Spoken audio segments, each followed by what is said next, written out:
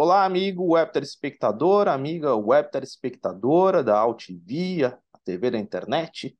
Estamos começando mais uma edição do Agropapo, neste arranque da temporada 2023 pela AltV. Oito anos no ar ininterruptamente, tratando aí justamente dos desafios, das oportunidades do agro brasileiro. E nesta edição do Agropapo nós vamos falar aí justamente sobre evoluções, gargalos, desafios, oportunidades na questão da gestão de negócios rurais, de atividades agrícolas, tanto dentro da porteira como em agroindústrias, usinas de açúcar e etanol, enfim, N segmentos. Mas quem vai poder falar com propriedade sobre este assunto é justamente o diretor de agro do NW Group, o Marcel Daltro. Marcel, é uma satisfação contar contigo no Agropapo, meu caro. Ronaldo, satisfação é toda minha, agradeço a oportunidade e espero colaborar aí um pouquinho de um, de um tema que acho que é bastante pertinente aí para o cenário atual do agronegócio brasileiro. Muito bem, meu caro. Eu sempre gosto de começar a entrevista assim, pedindo para o entrevistado contar até rapidamente um pouquinho da sua história vinculada à agricultura, ao agro, que eu acho que isso é legal, coloca todo mundo na mesma página e pode dar algum gancho interessante aí na conversa. Eu queria que você pudesse falar rapidamente.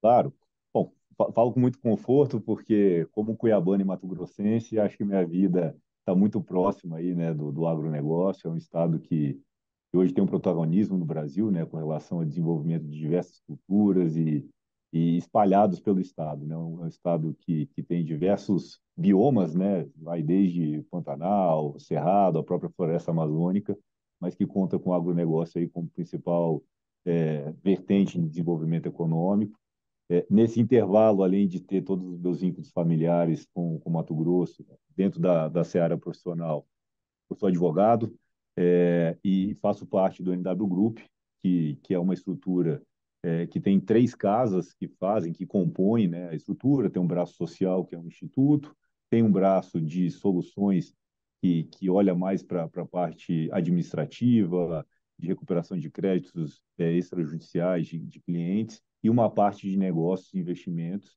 que atua de forma multissetorial.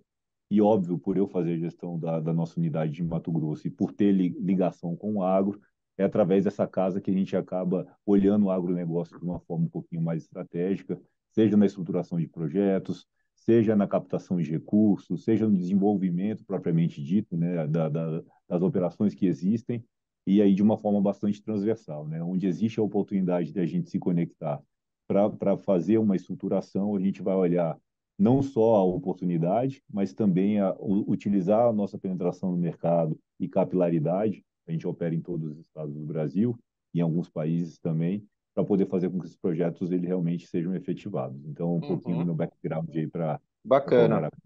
E em part... você já deu um brevíssimo perfil aí do NW Group, e agora em particular aí para o setor agro, como é que o grupo vem atuando, o que, que ele, enfim, vem entregando, vamos dizer assim, para o setor aí justamente dentro desse guarda-chuva aí de, de, boa gestão, de boa administração, o que, que você pode elencar para nós? Ronaldo, é, eu enxergo que, que a questão do agronegócio no Brasil, é, ela passa por um momento de transformação é, que carece principalmente de, de profissionalização. E, e entenda profissionalização não com os atores do agro tendo a necessidade de se capacitar ou de, ou de se profissionalizar, eu acredito que, que o destaque e a relevância do agronegócio traduz realmente que, que estamos muito preparados. Nunca é demais, óbvio, mas quando a gente fala de profissionalização, é que é, cada vez mais o agronegócio, pela relevância, vem ficando um pouquinho mais sofisticado. E uhum. sofisticado uhum. no sentido de carecer de governança corporativa, de estruturação societária, não só para poder funcionar melhor, mas também para ficar mais protegido, para ter acesso a crédito, para se comunicar com o mercado de uma forma melhor. E é justamente nessa vertente de auxiliar né, os players do agronegócio a, a, a, a terem um pouco mais de governança para poder acessar o mercado como todo que a gente entra. É, a gente tem olhado muito para esse viés, então vai desde um produtor rural que opera na pessoa física, a, que a gente entende quais são os, os gargalos que ele possui e a gente auxilia nessa estruturação, sejam aquelas empresas que já estão consolidadas e que através aí dos nossos serviços elas, de novo, possam ter acesso ao mercado, e não só ao mercado financeiro, né, mas ao mercado de serviços de uma forma um pouquinho melhor. uhum. uma forma mais rápida, de uma forma mais objetiva. Sim. Fazendo um recorte, eu acho que é, é importante esse ponto assim, um recorte jogando uma lupa aí na figura, persona, vamos dizer assim, do produtor rural, né?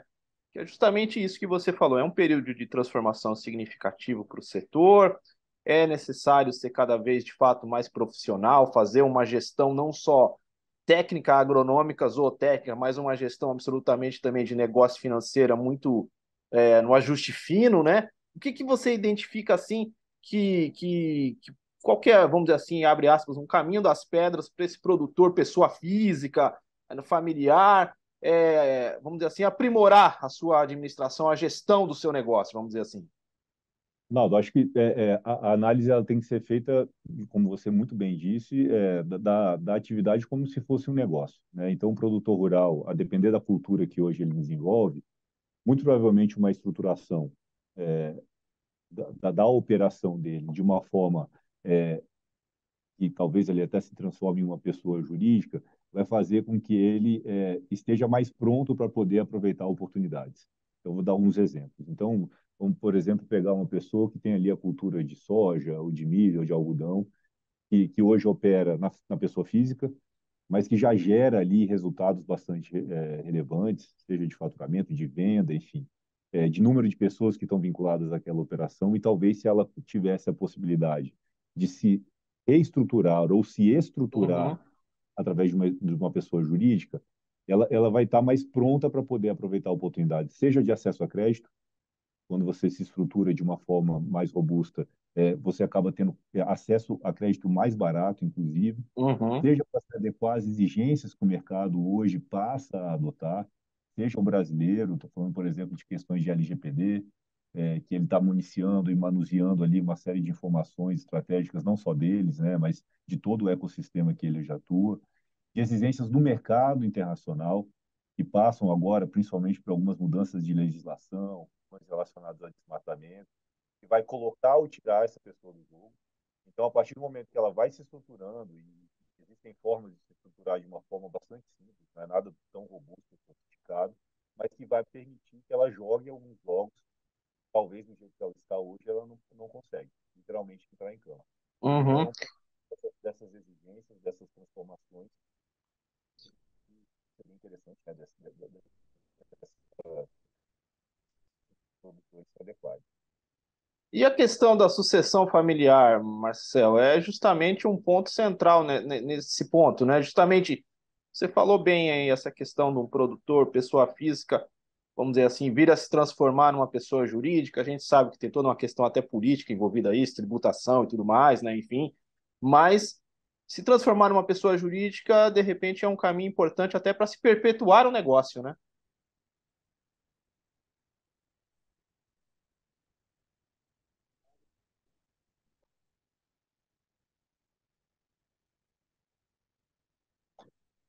Ronaldo, eu vejo essa questão é, como, como, três pilares fundamentais aí nesses movimentos. A, a, primeira que a gente acabou de dizer é a questão da estruturação societária.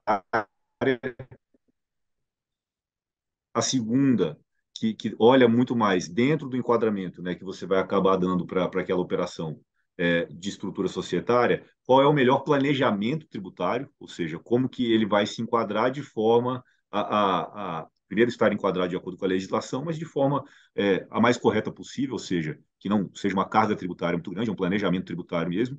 E a questão sucessória familiar é o terceiro, que amarra esses três pilares, porque a partir do momento que você estrutura, você já coloca as regras tributárias de forma mais benéfica e já dá um desenho para aquele negócio, que agora virou um negócio efetivo, né?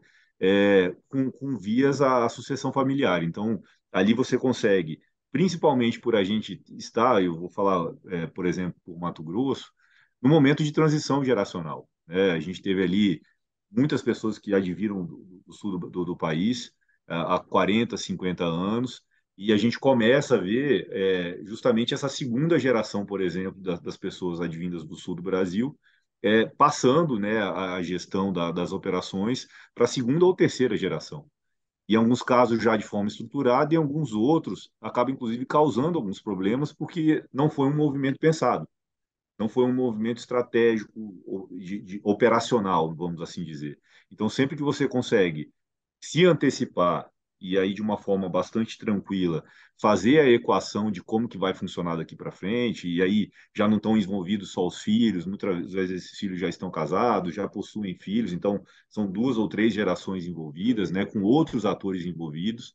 Então, quando quando esse cenário está um pouco mais organizado e esses movimentos são feitos de forma organizada, eles são mais leves também. Então, é, é, é, talvez aí o, o, tripé, né, que olha para a estruturação de governança corporativa específica para o agronegócio. Parte societária, parte tributária, parte sucessória. Muito bom, Marcelo. E a gente sabe, enfim, que o agronegócio é um setor, vamos dizer assim, absolutamente movido a financiamento, né? E justamente a gente tem aí uma, uma agenda de transformação aí também, menos recursos obrigatórios, mas ao mesmo tempo mais oportunidades em de outras fontes né, e tudo mais. Essa questão do, da profissionalização é fundamental, por exemplo, o produtor buscar crédito nesse novo universo de, de, de recursos, né? Eu, eu, digo sempre no, no, dia a dia que o rio corre para o mar, né? Então, a partir do momento que o agro assume esse protagonismo no PIB brasileiro, é óbvio que o mercado financeiro ia passar a olhar para o agronegócio de forma a se aproximar e oferecer opções né, de financiamento, justamente pela liquidez, pela, pela segurança né, que, que essas atividades acabam trazendo, e óbvio que faz todo sentido. Então, a gente vem, vem enxergando não só legislações, mas também uma série de, de novos serviços a serem oferecidos, né? Tão, tão interessantes e tão benéficos quanto, né? Não só brasileiros, mas internacionais. Então, você vê a questão do FIAGRO, dos CRAS, das CPRs, enfim, são, são um pouco de, de sofisticação que o mercado financeiro passa a oferecer para o setor. Então, óbvio, quem tiver mais bem estruturado e preparado vai poder acessar essas novidades de uma forma mais fácil e, de novo, mais barata. Legal, Marcel. Já é um grande bordão, o chavão do Agropapo, nesses oito anos, já que boa conversa acaba passando rápido. Eu quero agradecer a tua participação aqui no nosso programa.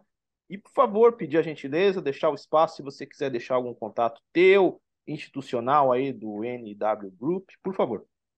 Claro, eu agradeço a oportunidade, espero que tenha sido o primeiro aí de outros que virão, sempre à disposição aqui, não só na minha pessoa, mas também deixando a estrutura da NW Group aí à disposição de vocês. É, depois compartilho também o nosso site, que é o www.nwgroup.com, e ali a gente traz um pouquinho mais de detalhes de, de, de, de, do que fazemos, onde estamos, e agradecendo a oportunidade mais uma vez. Foi um prazer. Muito bom. Dado o recado, e assim nós encerramos esta edição do Agropapo. O Agropapo tem produção, direção e apresentação de Ronaldo Luiz e a direção jornalística da UTV, a TV da internet, é do jornalista Alberto Luchetti. Encerramos esta edição, voltamos na próxima. Um abraço e tchau, tchau.